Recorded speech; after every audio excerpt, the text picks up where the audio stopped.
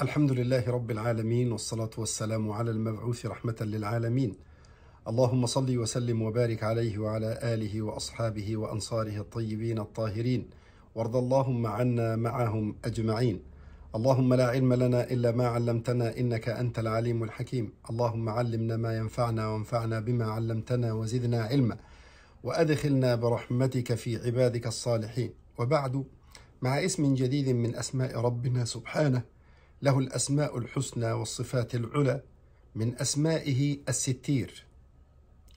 الستير من الستر والستر الإخفاء ويعني الستر بمعنى المنع كما في الحديث من ابتلي من هذه البنات بشيء فأحسن إليهن كن له سترا من النار.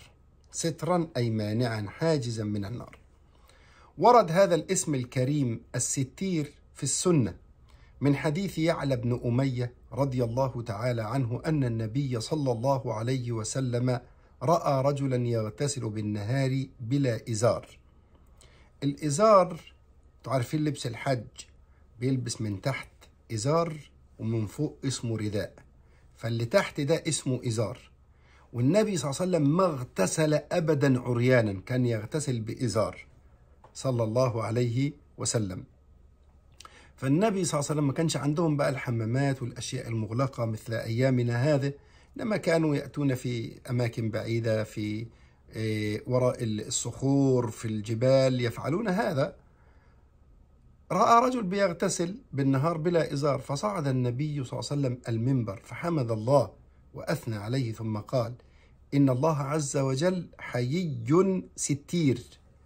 يحب الحياء والستر. فإذا اغتسل أحدكم فليستتر. اشتهر اسم الستير عند بعض الناس بأنه الستار حتى تسمى به أناس بالإضافة إليه وهو قريب في اللفظ والمعنى. سمى عبد الستار ده قريب في اللفظ والمعنى. من الطريف كما يقول الشيخ سلمان العودة فك الله أسره وجميع إخوانه يقول أن أحد الفضلاء وقع له حادث في سيارته حيث انقلبت في الطريق وحضر الناس لإنقاذه وإنقاذ أسرته. وهم يهتفون كالعادة يا ستار يا ستار. فأطل عليهم برأسه من حيث هو يصحح لهم ويستدرك عليهم ويقول قولوا يا ستير قولوا يا ستير. رحمه الله وغفر الله له. ورد عن عبد الله بن عباس رضي الله تعالى عنهما أن رجلين سألاه عن الاستئذان في الثلاث عورات. ربنا ذكرهم في سورة النور التي أمر الله بها في القرآن. فقال لهم ابن عباس رضي الله عنهما إن الله ستير يحب الستر. كان الناس ليس لهم ستور على أبوابهم ولا حجال في بيوتهم ما في ستاير ولا في أبواب.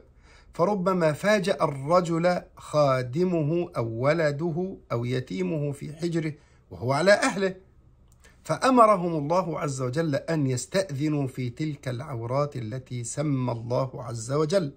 ثم جاء الله عز وجل بعد بعد بالستور وبسط عليهم في الرزق فاتخذوا السطور واتخذوا الحجال الأبواب فرأى الناس أن ذلك قد كفاهم من الاستئذان الذي أمروا به. لكن الستر معلوم وعندما يعني تعلمنا من الآداب إذا أردت أن تدخل غرفة حتى في بيتك غرفة والدك ووالدتك أو إخواتك البنات لابد أن تطرق على الباب وتستأذن. الستير روايتان. إحداهما كسر السين سي ستير مع التشديد التاء مكسورة الستير والثانية فتح السين وكسر التاء الستير. وقد كان النبي صلى الله عليه وسلم يدعو ربه بالستر كما ورد عند أبي داود عن ابن عمر رضي الله تعالى عنهما أنه قال لم يكن رسول الله صلى الله عليه وسلم يدع هؤلاء الدعوات حين يمسي وحين يصبح. والأفضل لكل مسلم فينا ومسلمة أن يحفظها. يقول اللهم إني أسألك العفو والعافية في الدنيا والآخرة. اللهم إني أسألك العفو والعافية في ديني ودنياي وأهلي ومالي. اللهم استر عوراتي وآمن روعاتي واحفظني من بين يدي ومن خلفي وعن يميني وعن شمالي ومن فوقي وأعوذ بك أن أغتال من تحتي. كان دائما يدعو بهذا الدعاء صلى الله عليه وسلم. يقول اللهم إني أسألك العفو والعافية في الدنيا والآخرة. اللهم إني أسألك العفو والعافية في ديني ودنياي وأهلي ومالي.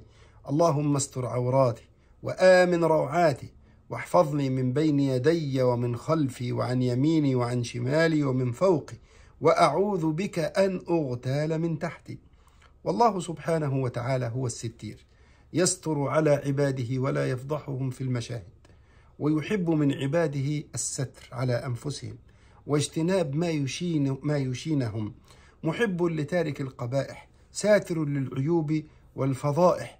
وهو الحيي فليس يفضح عبده عند التجاهر منه بالعصيان لكنه يلقي عليه ستره فهو الستير وصاحب الغفران سبحانه وتعالى.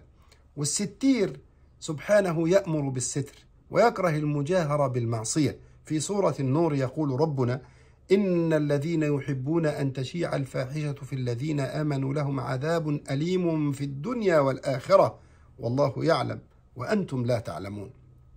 وفي الحديث كل أمتي معافى إلا المجاهرين وإن من المجاهرة أن يعمل الرجل بالليل عملا ثم يصبح وقد ستره الله عليه فيقول يا فلان عملت البارحة كذا وكذا وقد بات يستره ربه ويصبح يكشف ستر الله عنه.